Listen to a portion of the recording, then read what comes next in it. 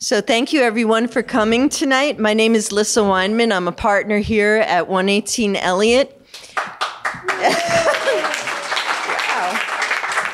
I didn't even have to write a book, and I got some applause. Thank you so much. Um, we've been doing this climate emergency book series with everyone's books, and um, we're going to take a hiatus over the summer and then come back with a set of authors in the fall. Um, but we've been really excited about having Chuck Collins here.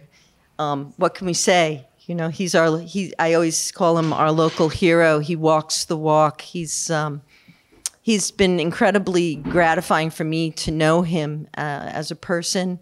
And I'm just going to give you a little uh, background. Uh, most of you probably know Chuck, but for those of you who don't, I'm just going to run through a little bit about um, the things that he's done, and it will just scratch the surface, of course. But um, so uh, Chuck started with community organizing. Um, he worked for the Institute for Community Economics in Greenfield from 1983 to 1981. Um, he founded United for a Fair Economy in 1995. And in the course of doing that community work in this area where uh, Altar to an Erupting Sun takes place, um, he helped, I don't know how many people who owned mobile homes uh, organized to buy and own the land under their uh, mobile home, and that and that has been a real success. And Chuck was among the first um, to to do that, to to work with people so that they wouldn't lose their homes. Um, so he's been doing this kind of grassroots community organizing work really since the beginning, even before he got his degree from Hampshire College in 1984. Um, he has a master's in community economic development.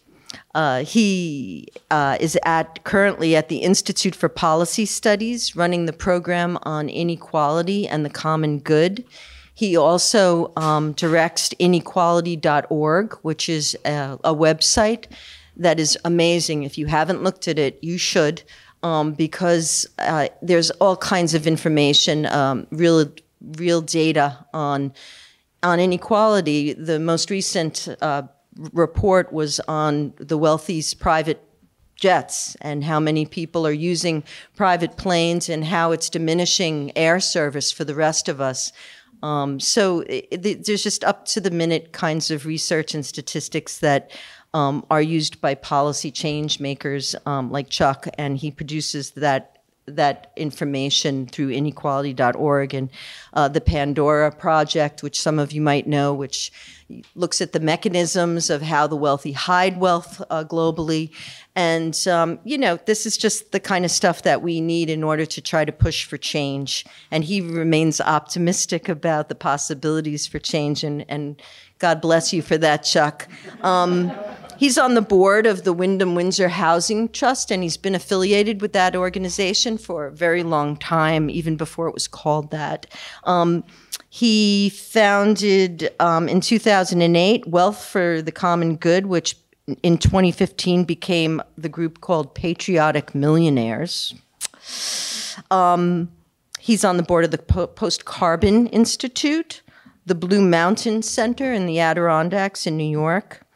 And um, what what can we say? He's um, an incredible person. He's written many books on inequality, including Robin Hood Was Right and Born on Third Base, which was his first book, which is a bestseller. Um, there's a great interview with him on Fresh Air that you can listen to. And we've also, um, for the Brattleboro Words Trail, there's some beautiful audio where he talks about his work. And you can listen to that there too on the Brattleboro Words Trail and the Brattleboro Words Trail podcast. And I'm going to introduce um, Nancy um, Braus from Everyone's Books, and she's going to introduce Chuck because she's known him forever. Thank you. Since you heard all of the publishable words about Chuck, I just want to say he's a heck of a good friend. And I really, excuse me, he lived in Green, Greenfield area, then moved to Jamaica Plain for a number of years, and we are so lucky in the Brattleboro area to have Chuck in Guilford now, and hopefully for the long haul. We're, it's really a lovely and it's amazing. They've really just the minute they came, Chuck and Mary have just absolutely become part of the community and, and become amazing contributors to what we need to survive, which is a strong community in this crisis time. So I am so grateful for having people that really seem to have their finger on how to create strong community because like I said, we really need that right now. So thank you, Chuck. We love you, and you're the best.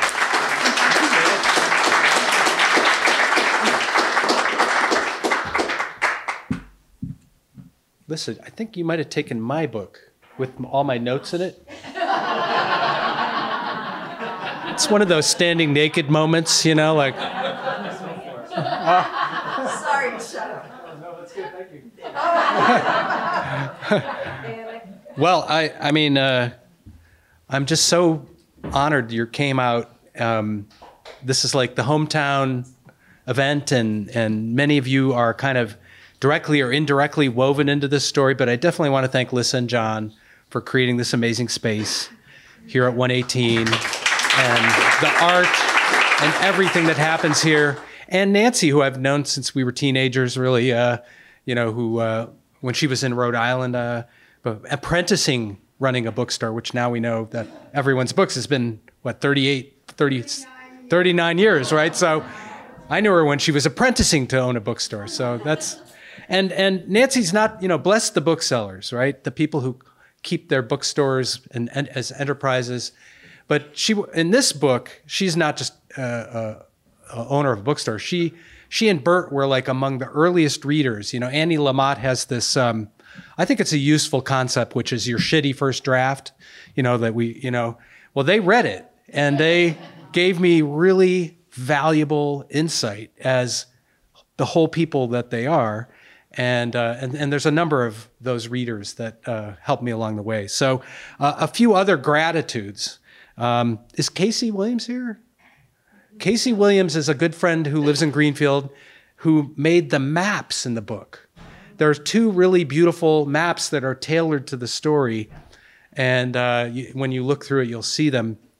Um, so, and, and somebody said to me, you know, if there's a map in the book, it t- doubles the chances I'm going to buy that book. And I'm like, well, ah, there you go. Gotta, gotta, gotta have a map, you know, like how many of you look at The Hobbit, you know, and just look at Mordor for hours, right? You know, so. Um, and then uh, the folks from Green Writer Press, there's a great team there. Dede Cummings sends her regrets. She is reading poetry in Norwich, Vermont tonight. And uh, so we, we gave her a pass. But uh, uh editor Michael Fleming is here. Um, where are you, Michael? Michael is like a real writer. Uh, he is like a poet and a writer. If you don't know his poetry, you should check it out. And he's editor extraordinaire and uh, really, really helped hone this book along with uh, Rose Alexandra Leach, who's another part of the Green Writers Press team. So thanks to them. Um, Robin MacArthur, probably not here. She doesn't even know the debt that I have to her as an author of place based fiction in this area, telling stories and kind of giving me permission to kind of mess around with time frame a little bit I really, really uh, inspired by her fiction writing. Um, and then there's some other people actually, here, fortunately, here in the room, Melanie Kahn uh, and and Starr LaTronica, our, our wonderful librarian. These are people that I sort of like talked to along the way, encouraged me, and uh, and and and and others. Actually, uh, uh Lissa mentioned the Windham, Windsor Housing Trust. Connie Snow is here who again we've known each other since we were teenagers, um, who was the first director at the Brattleboro Area Community Land Trust when I knew her, and has done amazing work in this community with some of us here. And then of course my spouse Mary, who is really the uh, you know, and some people read this book and know her and know and read the book and think, was this about her? and just to be public, it's not. But there's a lot of Mary throughout the whole story. So, and to all the people who are here that have sort of helped shape it, the Springs Farm gang and, you know, our neighbors and others. So thank you for coming out. And, um, you know, this is, this was actually the third book in a series that uh, 118 and everyone's books produced on climate change. And some of you, I'm just curious how many here people saw Andrew Boyd talk about I want a better catastrophe. Okay, so this is the bookends, if you will, to to that. Um, he uh, sends his regards, and um, he really loved the time he had here in Brattleboro. Um, so let me. Um, I'm going to just talk and do a little reading, and and and you know, um, this is this is the first time I wrote a novel, so I've never done a novel reading. I've always written nonfiction books, which um, I think would be tedious to read in a public setting. Uh, I usually just sort of talk about the book, but I'm actually going to actually try to read a few little passages because it is a novel. And uh, the big, the, one of the big awesome benefits of writing a novel is no footnotes. Uh, you know, just uh, now, uh, not to say that I didn't do a lot of research, but uh, I didn't have to like verify everything in the ways at the very end where you're like, where is the footnote source for that fact that I made up, you know? Uh, so, but let me, I think, um, you know, the first thing I'll say is, you know, well, what is this book about? Which is kind of the hardest question. But, um, you know, I'm a, I'm, as, as Lissa said, I'm a campaigner, I'm an organizer. I don't, I, I don't, never set out to write fiction, um, but I uh, just had this story that I wanted to tell. It was sort of knocking on my inner door uh, I had a character, a composite of characters, and uh, it it flowed out, and that's all I can say. It was it, it, it wasn't one of these multi-year things. In fact. Uh, with Michael Fleming's good counsel, it probably should have been a multi-year project, but I just said, "Well, Michael, I'm a I'm a man in a hurry."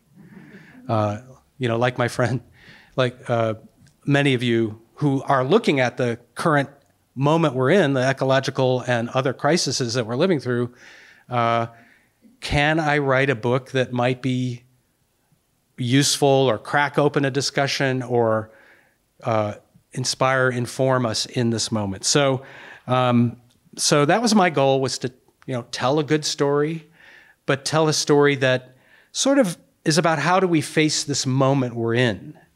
Uh, and part of it is future fiction, meaning it's really about the next seven years that we're in. Now, why the next seven years? Well, as, as you know, this is the critical decade. Actually, I just read an article today just saying if the major fossil fuel suppliers basically uh, continue business as usual, three and a half years from now, we will blow past the one and a half degree centigrade kind of carbon budget safety line that that uh, the UN and others have advised us on. So the next seven years are critical. And in my hope was writing a story that showed not the zombie apocalypse or not, you know, Blade Runner, but what would it look like if one community started to turn the corner um, in the next seven years? What would that look like?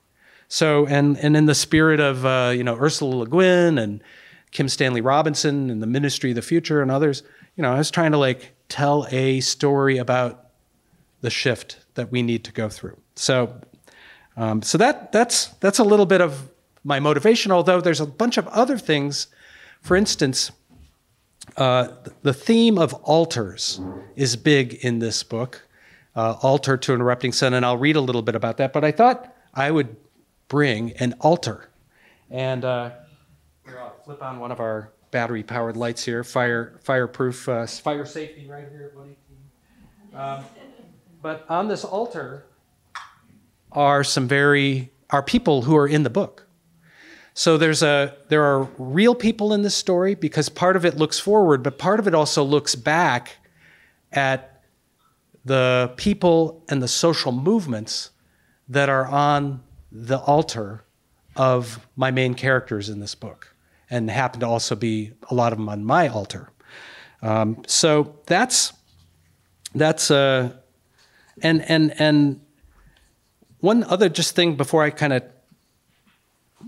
well let me let me let me say a little bit about um, the book, and it's not a spoiler alert to to to to mention that the first chapter of the book is Ray Kelleher, who's my main character, who is really the, the it's really her story, her formation that this book is about, and all the people and forces and books that shape her.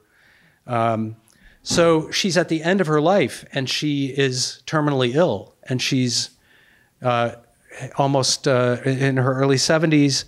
She's facing down the end of her own life and she decides to go out in a horrific suicide murder, taking the life of the CEO of an oil company who she believes is responsible for delaying our society's, our planet's response to the crisis. That's how, and I'm not going to read that chapter. I'm just, that's, it's there, it's on the table.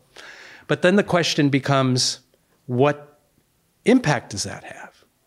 And so the book explores looking forward what happens, what's the blowback, the considerable blowback to this action, the repression, the um, the uh, fossil the, the, the the clamping down on dissent, but it also looks at some things that crack open as a result of that, or maybe as part of the ripple effect of her action. So, um, so in that sense, it's a formation story. But I, I want to um, introduce you to Ray just a little bit through a few little snippets, mostly other people talking about her. Uh, a lot of the book is obviously her first person narrative. Um, so she's married to a guy named Reggie, Reggie Reggie Donahue, who grew up in Dorchester, Massachusetts, totally, you know, kind of came out of a labor family. Dad, dad was an iron worker in the Quincy shipyard. Um, and he would he describes himself as kind of a late in life back to the lander, meaning uh, late in his life he discovered the virtue of trees and things like that. Um, but at that point, seven years after the act, the members of her community gather to have a, a birthday reflection on her life and legacy. And so he's thinking about what to say. He says, What can I say today about Ray that he hasn't already said before? Each year that goes by validates everything she predicted. She was prescient, a channeler, a manifester. She could see things that other people didn't see. She said, I had that power too if I wanted to tap into it. You see, Reggie knew he was going to lose her either way either to the cancer that had metastasized throughout her body or her decision to go out with a violent bang. She could have ended, ended her life here at Hidden River Farm, which is where they live, surrounded by loved ones.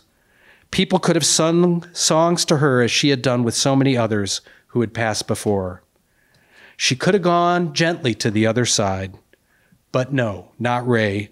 She was fueled by love, music, dancing, and rage. An anger so slow burn that it was chilling.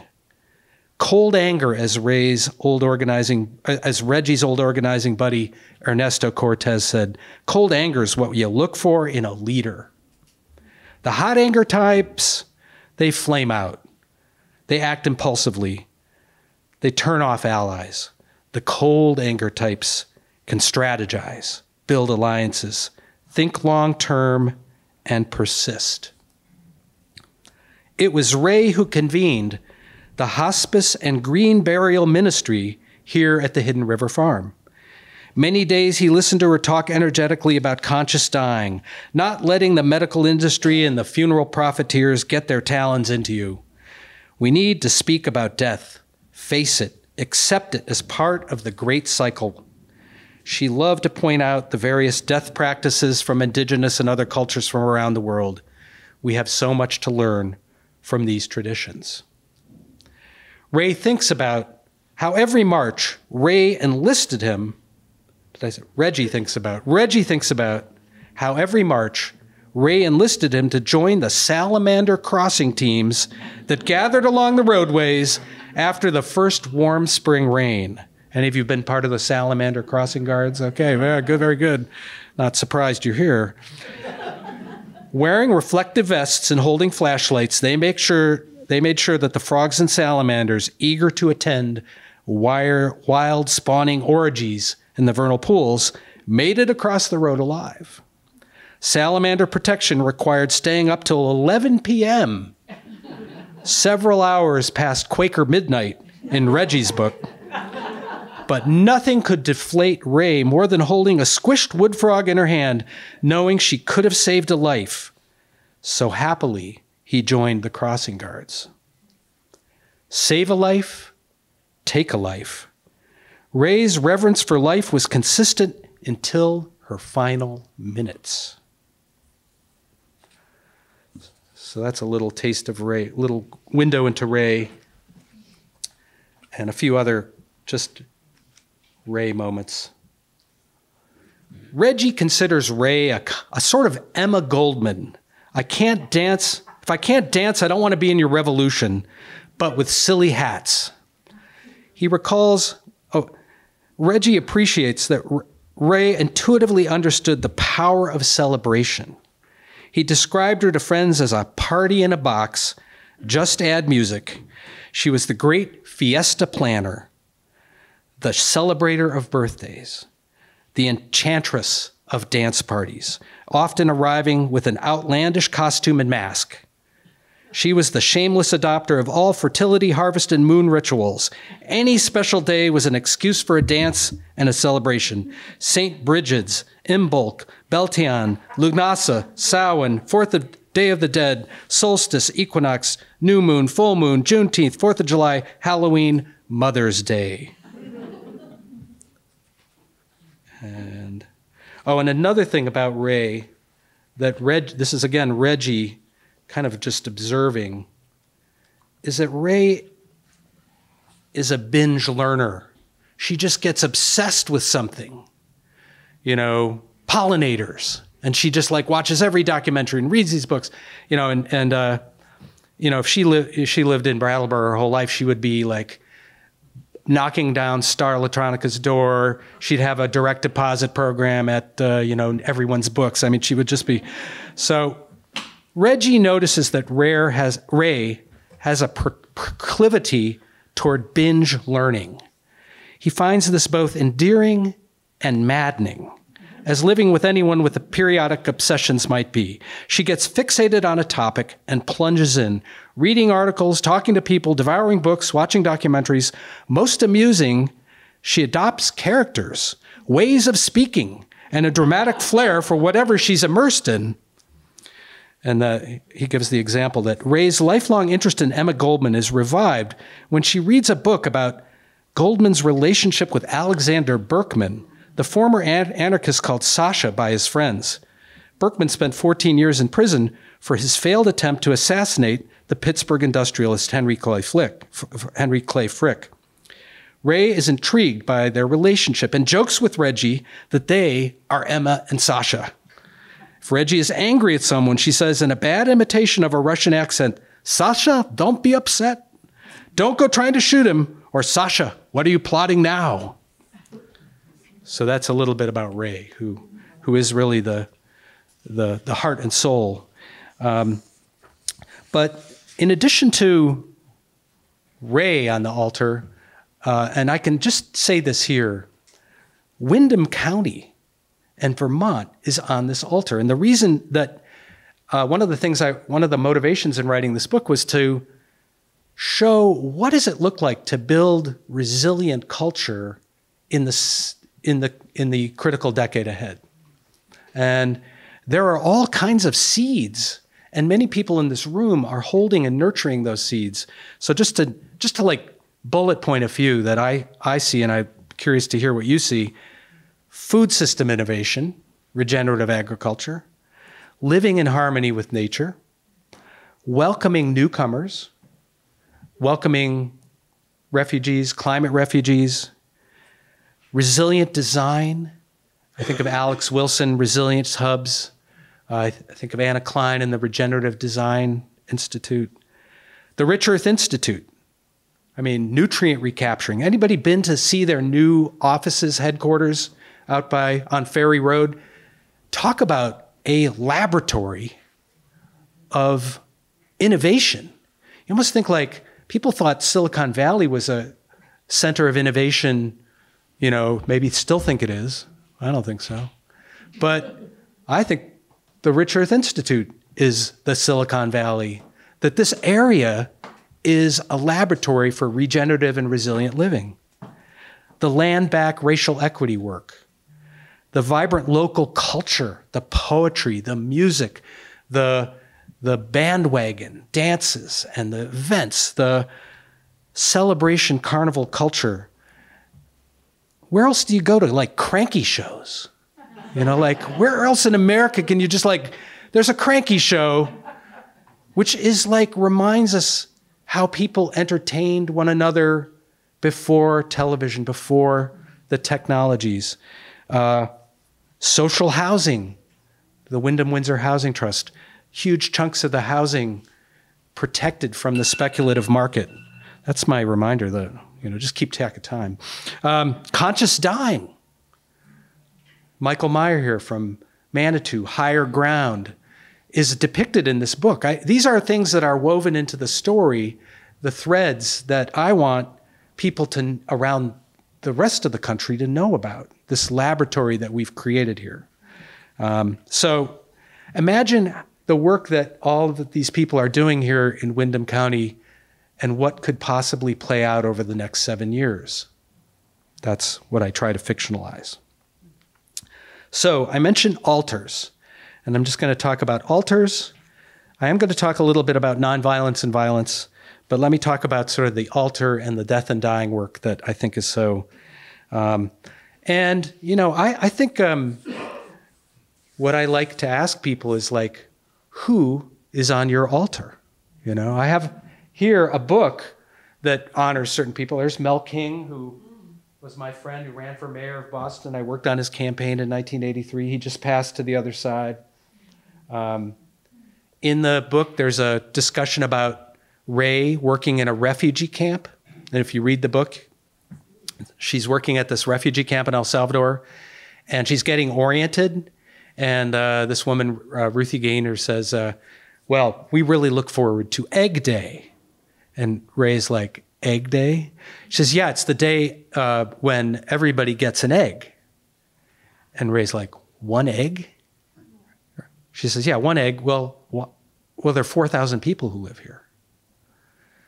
And uh, Ray gets the picture. So I have on this altar a picture I took in 1986 of Egg Day in the Betania refugee camp.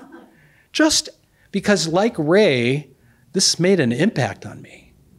And even though I haven't been back to El Salvador in a while, I still think about Egg Day. Um, so, what's on our altars? And what movements? Because it's not just people, it's social movements that form us and shape us. Um, and uh, I, I, think I was reading a, uh, a, a book by Graham Greene, who wrote you know, The Power and the Glory and The Quiet American, great British novelist. Um, and he, uh, he was hanging out with Omar Torrijos, the president of Panama. And uh, he has these, uh, a book called Conversations with the General, a, non, a nonfiction book. But this one scene I remember, he, he's traveling, he travels with Torrijos around Panama and he goes to different villages. And Torrijos says, you can tell the healthy villages, they're the ones that take care of the cemeteries. And uh, his quote was If people don't look after the dead, they won't look after the living. And, uh, you know, as you know from Day of the Dead or maybe watching Coco with your kids and grandchildren, the whole idea is in the Latin American tradition, but it's truly a global global notion that memory is what sustains us. And as long as someone is in memory, they are with us. And that presente. And, um, you know, actually, I'm glad you said that because I had this little call and response that I was going to do later. But okay, so Mel King, presente, right? Ward Ogden, presente. Jonas Frick, presente, right? We have, we have a way to celebrate and mark. And uh, um, so Ray, my character Ray, is totally a sponge for this. she thinks what's warped about sort of Anglo culture is our and uh, is our attitudes about death and dying, and that if we could kind of figure out how to face that, engage with that, we would be better equipped to face the next seven years, ten years, the future. Um, so she is really a death with dignity activist. She would be probably hanging out with Michael Meyer and doing the higher ground. But at the farm where they live in, in, uh, they create a memorial grove, very similar to this higher ground. And now we can't actually do that at our farm in, in Guilford because it's too wet. But um, anyway, so her her her community, this community that Ray Ray's kind of brought together, forms not just a memorial grove, but a whole kind of ministry around death and dying. And I want to give you just a little flavor for that. Um, the Sacred Grove and Memorial Area at the farm are home to over 200 human remains. No concrete crypts, no carbon burst cremations, nothing that can't break down easily. Wrap me in a wine stained tablecloth and lay me down three feet in the soil, as Ray would say. Make me one with the compost, fertilizer for the trees. So that's Ray describing that. Um, and and uh, they they there's a whole group of um, folks who uh, form this kind of organization, and one of them, uh, a, a, young woman, Rachel, who lives at the community, is uh, pretty much based on Mary Fraser from Dummerston. Is Mary Fraser here? Anyway, so Mary Fraser is the weaver of the willow coffins. So there's a character that uh, emulates her. So they have a practice. They create a little ministry called Passing Celebrations because it's they realize people want to. Uh, uh, so I'll, I'll just read a little bit about that. Ray has sort of an adopted daughter at, at later in the story named Alex, Alex with an I. Alex and Ray meet with an older woman named Vera, who lives alone in a mobile home on a dirt road in nearby Halifax, on land next to her youngest son. They visit her every couple days and delight in her stories of growing up on a farm in Guilford and walking to one of the 14 one room schoolhouses in the town. Vera tells them that she is a Bigelow, one of the old Guilford families. She met her husband at the Valentine Social at Broadbrook Grange Hall 151. She insists on including that number her mother in law was active in the Ladies Sewing Circle of the Universalist Society, which own the historic meeting house that Alex and Ray can see from their porch. Vera and her husband Rodney were married in that building. They used to organize a harvest supper and feed 200 people, Vera exclaims. Those ladies were a force of nature. She has been in and out of the hospital with cancer and has entered hospice. She is adamant about dying at home. She asks them if they could help her host a farewell party before the doctor helps her past to the other side.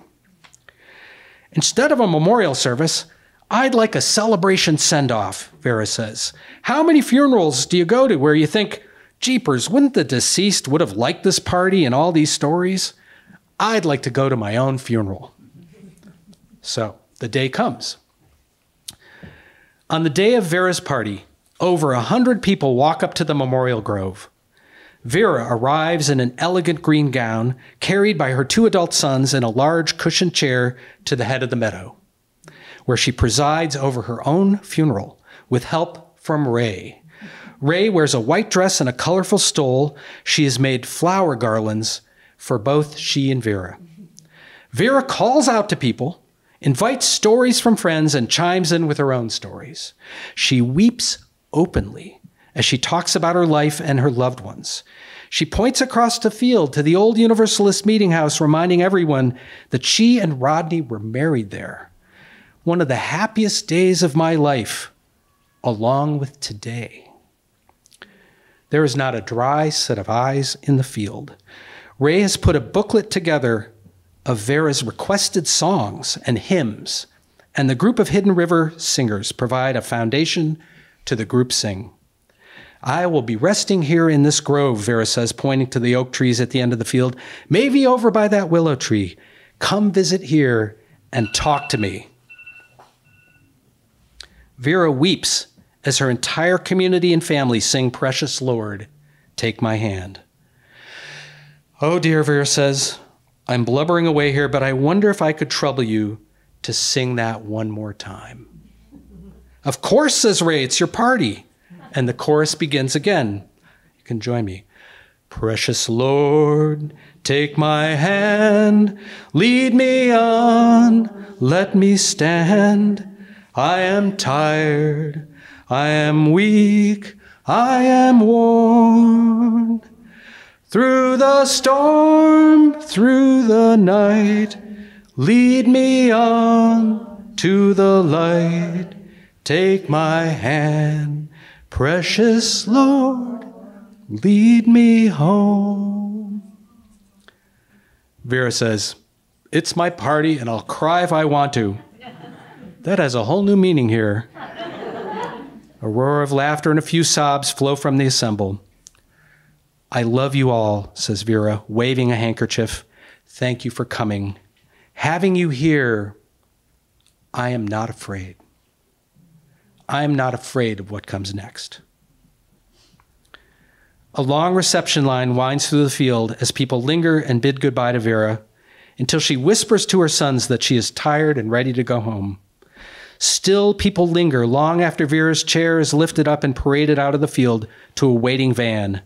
Many remain in their seats, pleasantly stunned, taking in the experience. That was remarkable, says Tom Hayes, a retired farmer who's known Vera since they were children. That's how I want to go. Where do I sign up?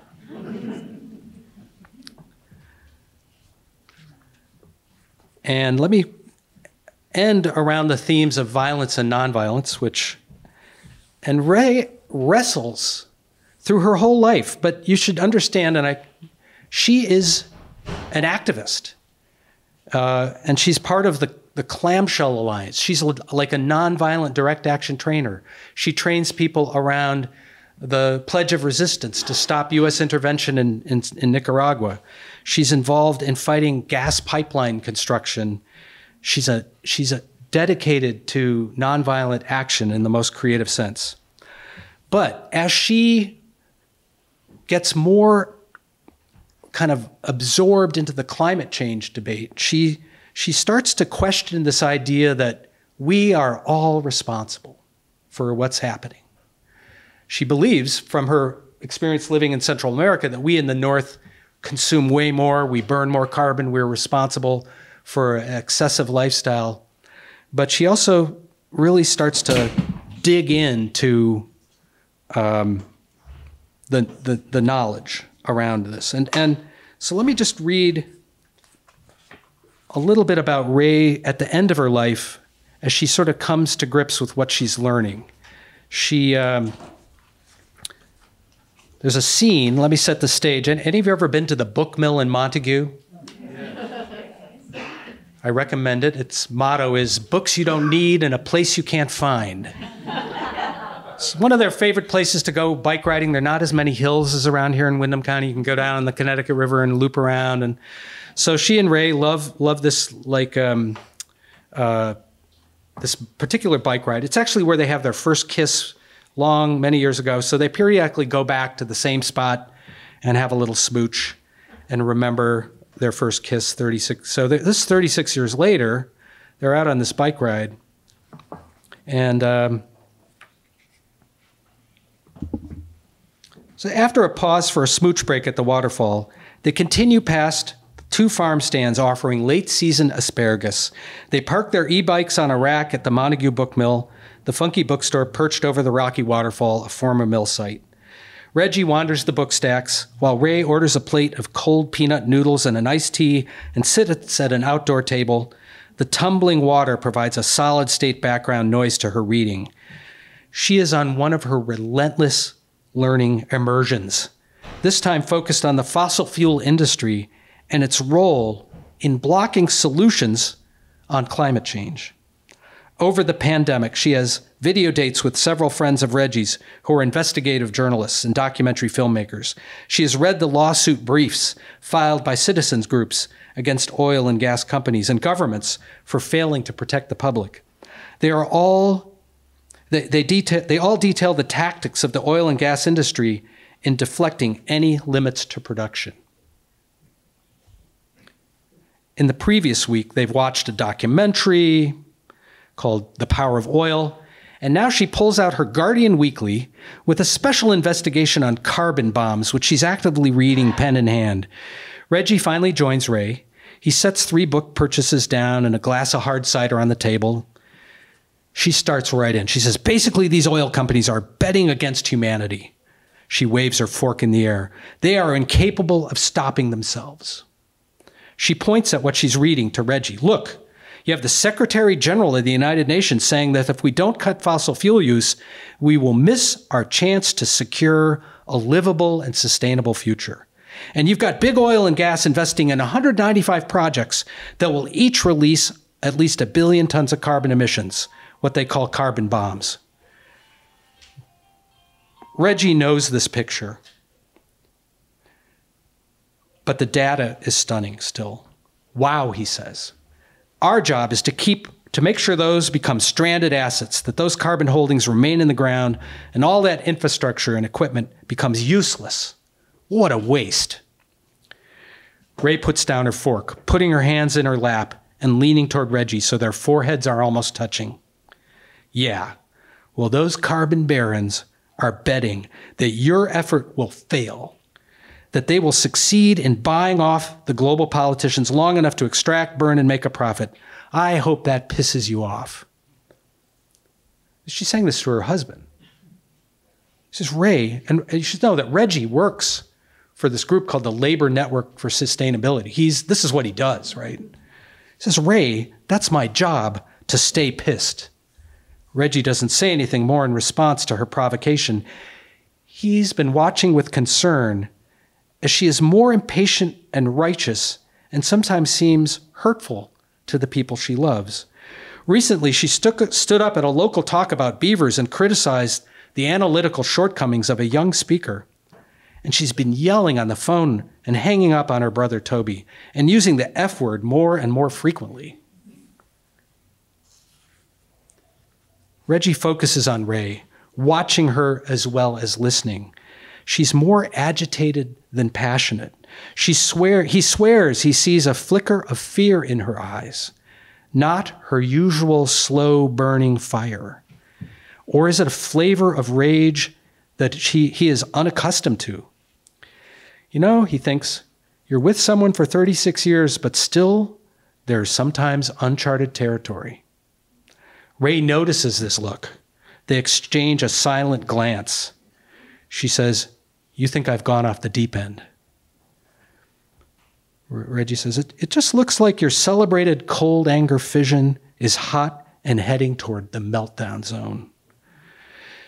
Yeah, you may be right about that. Ray pauses before making a confession. I feel something off kilter in my body, in my gut. And of course, as I mentioned before, she learns that she doesn't have long to live. And finally, I'm just going to end with this little excerpt, again, setting the scene. For those of you local, you'll appreciate this. But she tells, she tells Reggie she's, she's thinking about this. She's thinking about going out in an act of violence an act of terror. And he is a savvy organizer. And he's like, that may be cathartic for you, but that is the dumbest, dumbest thing you could do. That means I'm going to end soon. and he says, you know, look, could we? I know you don't want to. She's like, I'm not going to talk about it anymore. I'm not going to implicate you. I'm not going to tell you any more details. I'm going to leave you out of this. I don't, I'm going to protect you. He's like a little bit like, why, you know, I don't want you to protect me. But he says, how about this? The next day he says to her, how about this? What if we have an old fashioned Quaker clearness committee? Quakers have this great process for discernment to think about a question with some trusted elders and friends.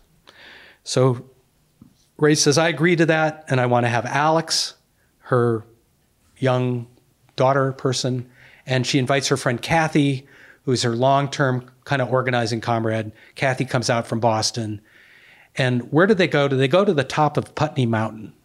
They bring some folding chairs, and uh, Ray has a lot of ha- happy memories from the hawk watches there. And they leave all their cell phones in the trunk of the in the in the car, in the, tr- in the and they go out and they have it out. They sit for a couple of hours. I'm not going to read the whole conversation, but it's a really a, a, a grappling with nonviolence and violence, tactics, strategy, and uh, so Reggie says, you know, Ray starts in and sort of describes her view that, look, I've been working on nonviolence as a nonviolence forever, but things have changed. In my mind, things have changed. Um, so I've come to the conclusion that these are extraordinary times that require extraordinary measures. She says these fossil, these fossil, there are people I regard as evil who fully know the harms they are causing, yet can continue to do what they're doing. They are not just bystanders or accomplices, but perpetrators. And Reggie sort of takes this in and he says, Look, I'm mad at them too. You know, I, I have rev- anger and rage and murderous feelings. But my concern is more about the implications for the rest of us. After you've done your purging act of violence, I think it could set back the movement. Reggie, Ray takes in what Reggie's saying and she says, I'd like to hear more about that, but here's my view. For over 25 years, the movement to reverse climate crisis has been highly disciplined and nonviolent. For a long time, we acted as if we were the problem, all of us, with our lifestyle and excessive use of fossil fuels. Then the movement finally started to focus on the actual global energy companies, the fossil fuel giants that profit from the extraction and burning of carbon. As we know, these corporations deliberately unleashed the merchants of doubt. These individual carbon barons knew decades ago about the harms of greenhouse gases, and yet they did everything they could to sow uncertainty and block change, funding sham science, bankrolling climate deniers for political office. Later, when they couldn't deny the reality anymore, anymore they agreed to meaningless symbolic actions and pronouncements about sustainability, but they never slowed down from building new power plants, laying new pipelines, and planning to extract and burn more and more. They have to be stopped. Her friend Kathy says, But it's not a few CEOs, Ray, says Kathy. The problem is a whole system with boards and shareholders and we, the public, clamoring for cheap energy. Yes and no, says Ray.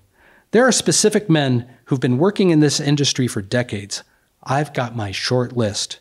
They have had the information about the harms for decades. They could have made a very different decisions. They could have made very different decisions, and they'd still be in the world's richest 0.1%. They deployed their considerable clout to block the flourishing of alternatives. They paid lobbyists to oppose higher energy efficiency standards. They limited the choices that we, the public, had. And we chose, and they chose to expand carbon burning in the face of all the evidence. They took the money and ran. That is evil. That is willful, premeditated murder. And let me jump ahead.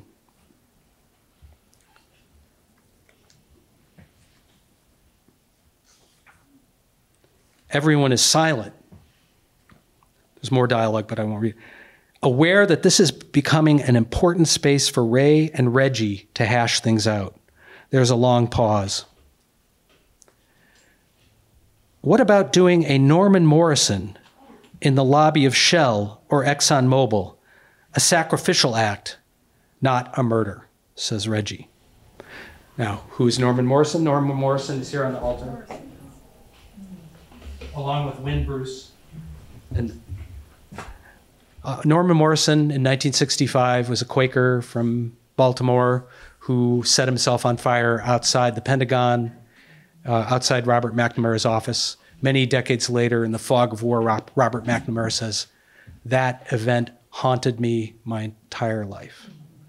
Norman Morrison uh, there's a section in the book where Ray meeting the real Brian Wilson, not the Beach Boy Brian Wilson, but Brian Wilson who lived in Greenfield and lost his legs blocking a train, told the true story. One of the things, one of my motivations for writing this book is I wanted to lift up some of these stories about some real people, including Brian Wilson, because Brian Wilson was obsessed with Norman Morrison.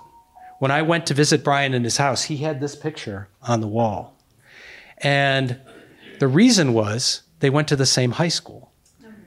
Brian went off as a, Norman Morrison uh, did his action, and then um, Brian knew about it. He was like, what a crazy guy. What an, he, he went off to be a soldier in Vietnam.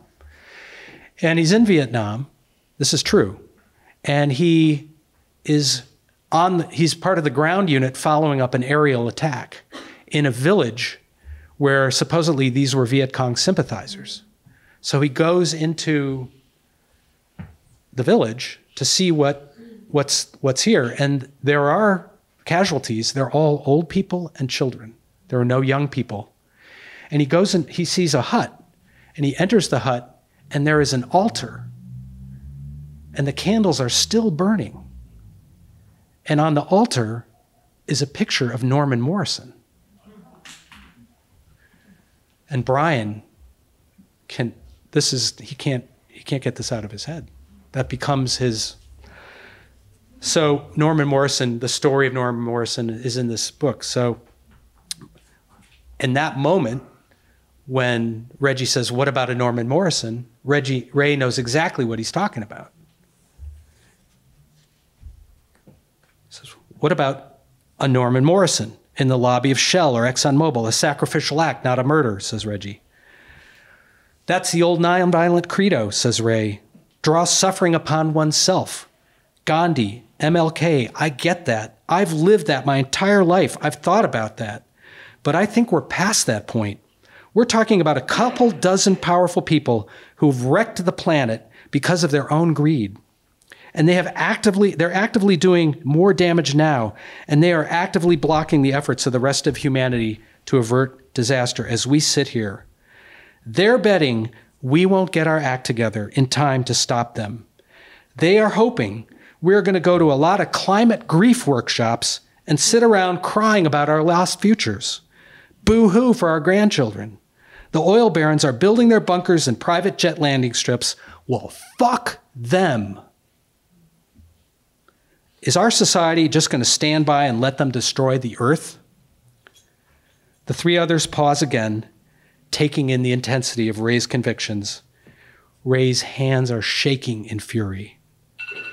Bring more suffering upon ourselves? I know that theory of nonviolence, and there are plenty of scenarios where I would agree with it morally and tactically. But let's say we live in a neighborhood, and every week some arsonist shows up and burns down another neighbor's house. Should we all sit around and sing dirges and pass the Kleenex? Boo hoo, there goes another house. How can we nonviolently stop the arsonist? Appeal to their fucking humanity? The asshole is burning down our neighborhood. Are we just going to sit there and take it? Should we set ourselves on fire? Now, what if the arsonist controls the whole system? That they can turn off the fire hydrants, that they can even deny that they're fires, and they'll block all of our nonviolent efforts. Well, guess what? That's where we're at. So let me, let me close by saying Alex at her memorial service says, what Ray did was wrong. But what Ray would say is if you don't like what I did, what will you do? What bold action will you take to defend Mother Earth, our one and only home? What are you called to do? Thank you.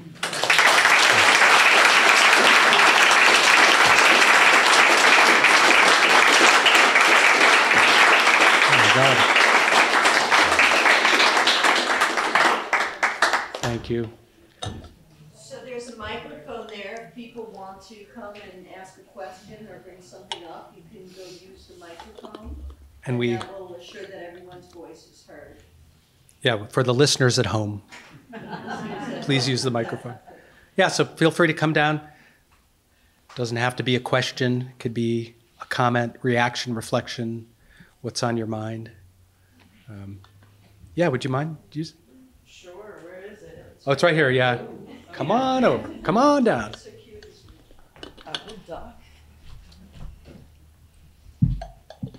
Uh, thanks so much for that. Um, have you read a book called American War by Omar El Akkad? Because elements of his story remind me of elements of your story, but it, you know they come about it in such a different way. You know this path to violence, um, and I'm just wondering if you know it. I, I don't, I've heard of it and I haven't read it, but uh, Yeah, it's about the my- Second American Civil War, uh, 2075 to 2096. and okay, it's so fought- it's future fiction. Yeah, yeah. exactly. And it's fought on the basis of, um, you know, the states that wish that outlawed fossil fuel usage and Ah. the states that, you know, rebelliously stuck with it. And All right, there's another Yeah, it's- another it's in the genre. yeah, Cool. that was it.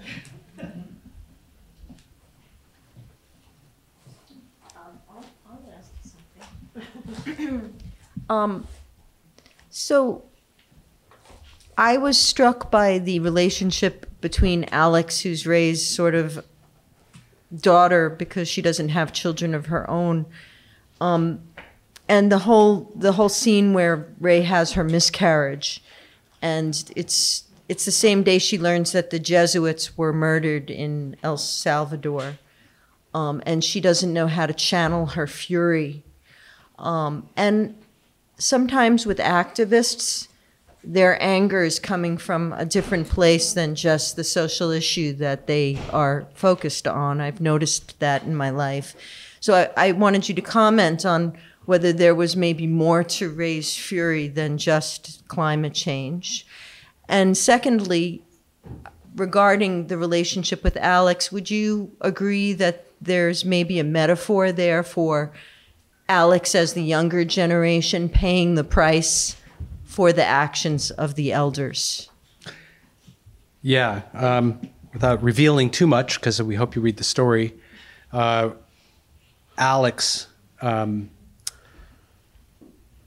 helps. Alex drives Ray to the end to her um, destiny event, but then is the one who is punished for it.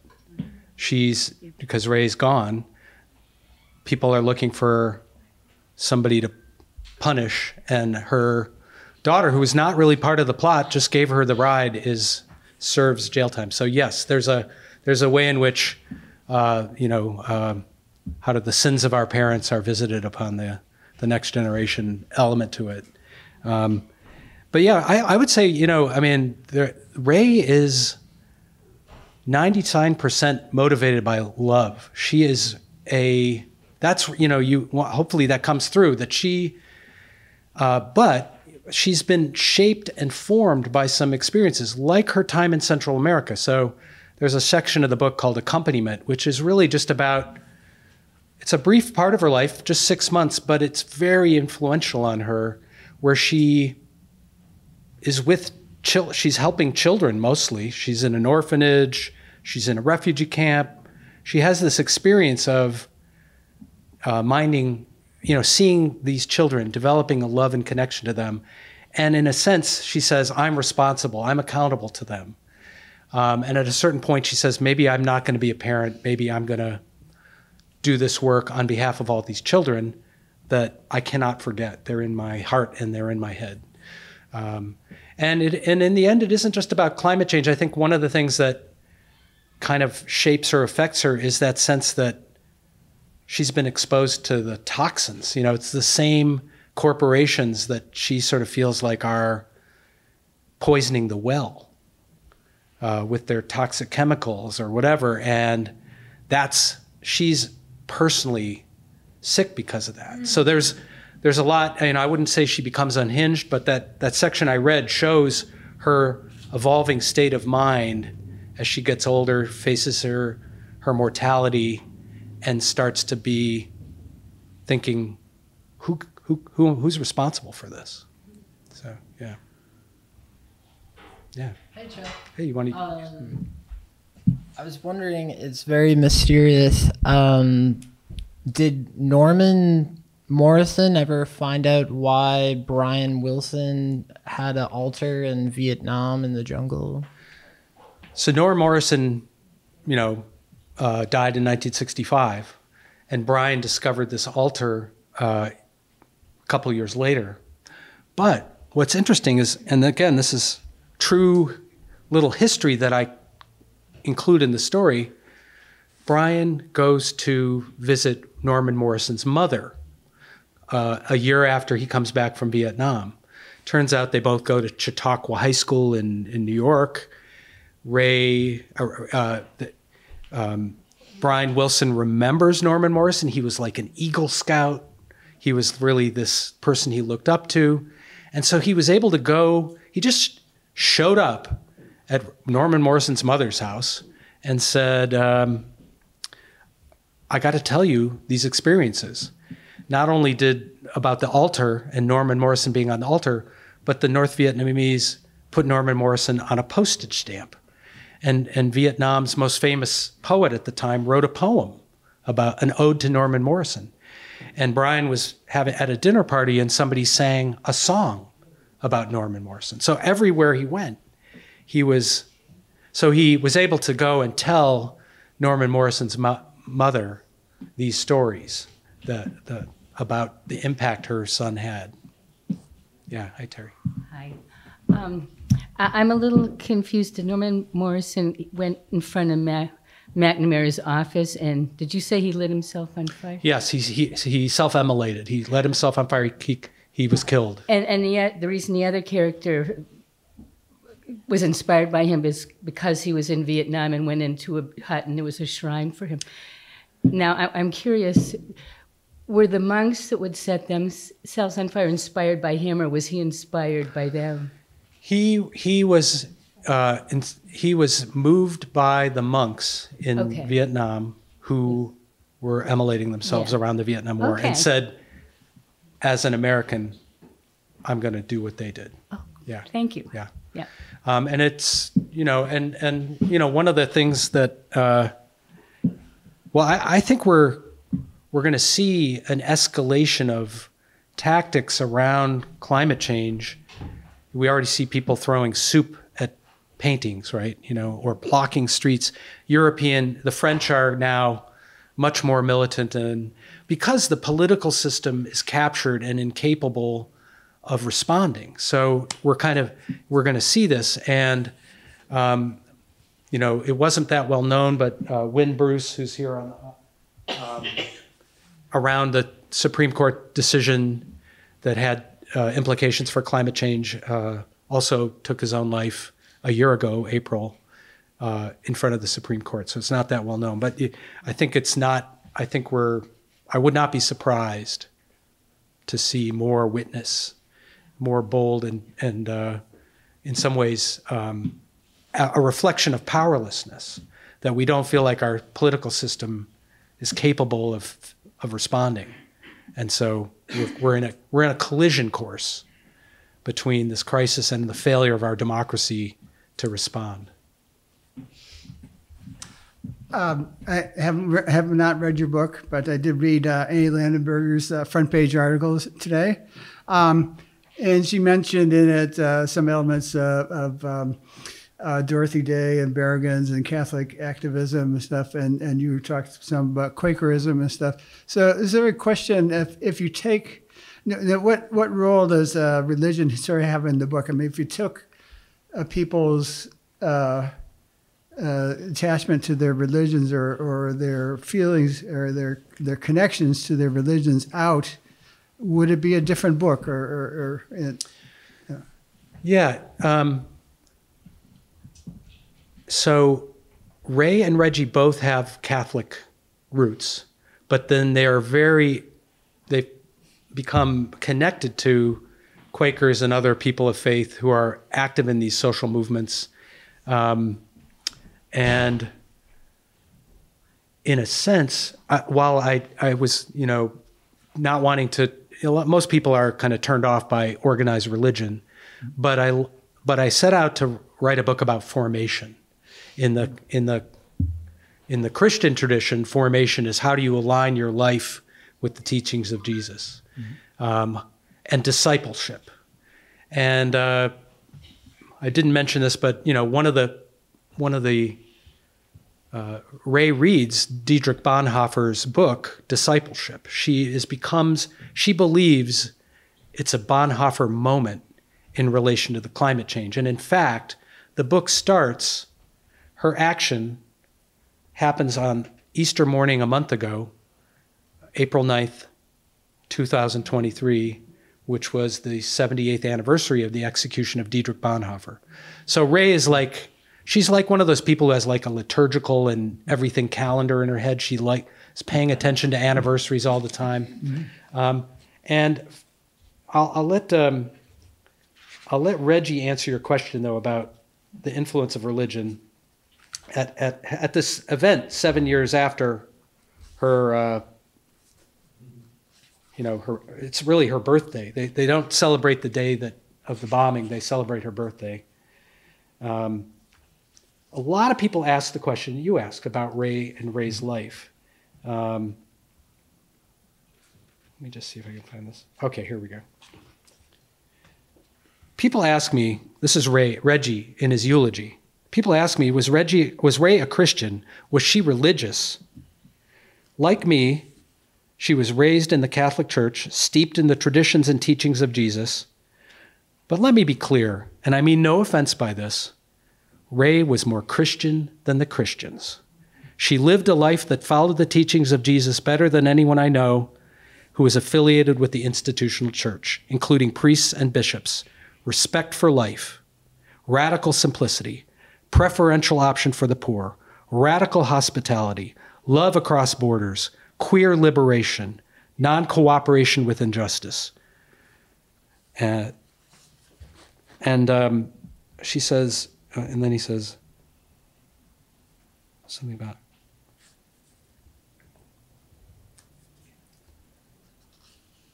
So she and, and and he says, you know, she believed that religious religious life would look like this community that they've built at Hidden River Farm.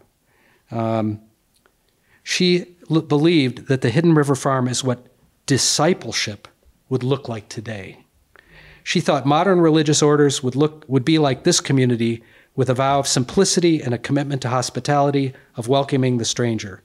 These were religious tenets, the intention to live in harmony with the earth, humble and in alignment with Gaia, listening for her messages, observing her wisdom ways, love and care for another and all living creatures, and building a beloved community. She acted out of reverence for life, not from a place of hatred. At the end, Ray was a Bonhoeffer Christian. Killing to stop the greater evil becomes the righteous thing to do. You may be offended by the killing, by the loss of innocent family members, or you may have supported Ray's actions. But in the end, this is what Ray uh, meant took to believe the Oscar Romero quote: "Let your life speak through you."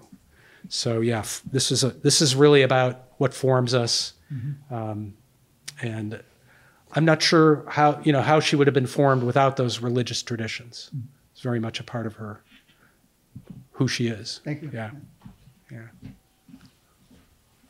Spoon. Hi.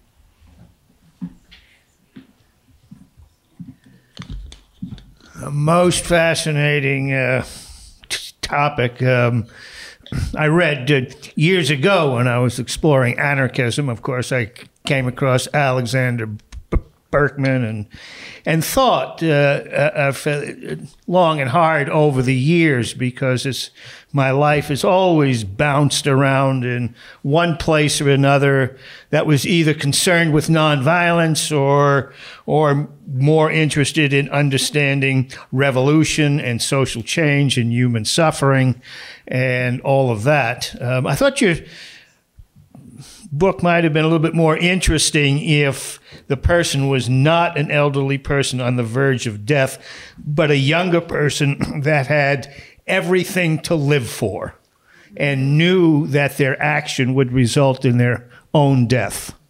And that, of course, changes the whole complexion of what, because revolutions are fought basically by the young who, who, who are fighting for their lives, their futures. And um, so I, I'm very thankful. I'm, I'm pleased, and I want to thank you anyway for introducing this this uh, idea that, and and it helps us understand that how we can be living in these times that you describe on the verge of almost self annihilation, and we see so little agitation, hmm. so little resistance. And it's only because the audience, most of the audience we speak to here, feels like they have too much to lose hmm. families, youth, property, houses, the good life. Very hard to be, very hard to sacrifice hmm. under those circumstances. Um, but the times are coming when uh, uh, when people will be making Earth first is what I think of, and um, and it will I hope to see more of that. I I have met uh, Brian Wilson and uh, many people who who have confronted the powers that be, and and it takes a lot of courage. Yeah. Thanks. Um, just, just, um, I think one of the things that Ray talks about is uh, kind of in the spirit of um, you know this new organization, Third Act, the idea that uh, in, in I know in Mexican culture they talk about the tercera edad, your last third, the last third of life. In this case, Third Act is really you know people over sixty engaged in taking greater risks for climate justice, and the whole idea is we're in a better position for the reasons you said, mentioned, Spoon, to, to take risks. Uh, we have, you know, we don't have our whole lives in front of us. We don't have, you know, we, we haven't, we've had children if we're, or not, but we're, we're past child raising, you're, you're you know, we're, uh, so um, I like to say Ray started the last act group, you know, and actually in the story, in the in the in the seven years after, there are a lot of copycat actions. There are there are a variety of other bold actions that are taken, not not assassination, et cetera, but like along the Norman Morrison or militant action. So, um, but I actually think for those of us who've in the in the global north in the last third of our lives who have economic stability, we've been the huge the biggest beneficiaries of the fossil fuel era. So while we're maybe not as responsible as the leaders of the fossil fuel industry, we still have had enormous privilege and advantage because of 70, 80, a th- century of building upon the, the fossil fuel legacy. So uh, we have a disproportionate responsibility, I guess, to engage. That's so. I think that's she's thinking at the end of her life, and one of the things that it triggers is there's a group of uh, grandmothers that call themselves the good ancestors, who who are kind of like who undertake a militant direct action. Um, so I think well, younger people can figure out how they want to respond to it, but Ray would say the oldsters need to do our part, big big part. So hey Michael. One of the inspirations of the fiction is the real life higher ground, you know, uh, community burial ground. Yeah. So much gratitude, Chuck. Thank you for all that you are and what you are offering and what you are inviting us to engage with as we absorb and explore our own responsibilities and our own motivations. And it's really about motivations that I'd like to um, muse on. I have no idea what's about to come out, but I'll start. um, you talk about cold anger as being this simmering thing with Ray and what drives her. Not having read the book or even, and he's writing about it earlier, I'm curious about how you have conceived her own sense of self acceptance, her own ability to kind of work through issues of her own identity such that love ultimately becomes a growing emergent force in her life. Because for me, having been through different kinds of organizing and community development initiatives and things about good, the people who burn out are not the ones who are the most passionate. They're the ones who don't have some kind of inner core from which they're working. And if that can really be the source of movement into whatever their action is, then that's what's durable. That's what inspires. That what's mm. it's the energy that ripples out. So, how are you thinking about that with Ray? Well, um, maybe this is I don't know if we should wrap up, but I think that one of the things that um, that Ray uh, looks to altars for the reason she's is the she's in this refugee camp she meets a woman who's a midwife named Chepa. And Chepa uh, has delivered half the babies in San Vicente province. And now she's in this refugee camp with 4,000 people. And there's probably a couple babies a day being born. And so she's, she's busy. The midwife, Chepa, is busy. But she invites Ray to her little cubicle where she has an altar. And on the altar are her son and her husband, who've both been killed in the conflict. And Ray, Ray is like, wow, uh, think you know she can't believe. And and Chepa says the altar is my source. It is my. She doesn't really finish the thought. It's just, but Ray gets it. It's like, yeah, this is how she keeps pulling toward life, toward becoming, you know, to bringing babies a new life into the world. Um, and that when she leaves her mission in Central America, she's sort of like the one thing that she takes away is, you know, if things go bad, I can always build an altar and draw strength from that. Um, so I would say it comes back to all the things that formed her, all the all the people that were on her altar. You know, so Wally and Juanita Nelson, war tax resistors in Deerfield, um, Oscar Romero, you know, who and she studied and was influenced by, and, and some of the others here. These were, you know, she really took her connection to ancestors and the people that came before her very seriously, and that was a strength that, that grounded her and fortified her in whatever she did. So, um, and she would she she offered that to others. She built community altars, but she also had you know a private altar in her own dresser for where, where maybe she was in active grief and facing something, but she invited other people into that practice. So, um, so yeah, that that's what helped her keep pulling toward life over and over and over again. So, the element of heart was really at the core, and from there she was just longing for the right expression. Sounds like, yeah. Yep. Yeah. Should we should we wrap up, Liz? I think I've, you all have been think, sitting so thoughtfully. Thank you. Um, I, I, was going to say I have uh, there's a I have a website called chuckcollinswrites.com where there's like a there's like more background links to some of the things. That, so if you read the book, check out that website. There's like a discussion guide. There's photos of some of these places. Oh yeah, Annie. The other thing I loved was at the very end Ray's reading list. Right. That's really worth its weight in gold. Yeah. It's really a good thing to have included.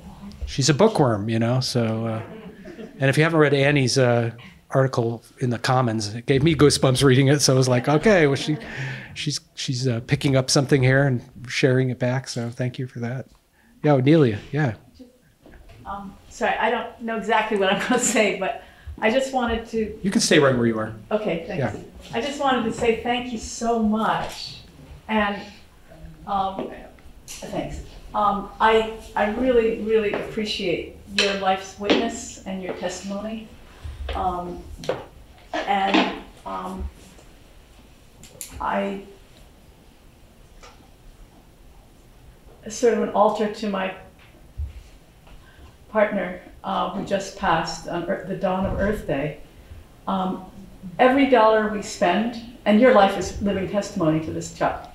You and I both gave away our access to wealth because of our nonviolent convictions when we were young. And every dollar we spend, regardless of what it's spent on, is multiplied threefold under the multiplier effect in economics, generating three times the amount of economic activity that's killing the planet. Every dollar, regardless of what it's spent on. And I thank you for your witness. I thank you for the questions you raise and for our humble attempts to so imperfectly live simply so others may simply live. Amen. Yeah. Neely and I have known each other, and she, a lot of the people on this altar are, we, sh- we share some of those elders. Uh, she's holding Chuck, the picture of Chuck Matthei, who is very important. But, but uh, Nelia, she met the Nelsons when she was five years old. So, Polaris Action, the first nuclear submarine protest in the world. yeah. I don't remember it. but I was there. Rumor has it, yeah. I'm told by my elders. Thank you. Thank you all. Thank you. Thank you for coming. Yeah. Anything else you want to say?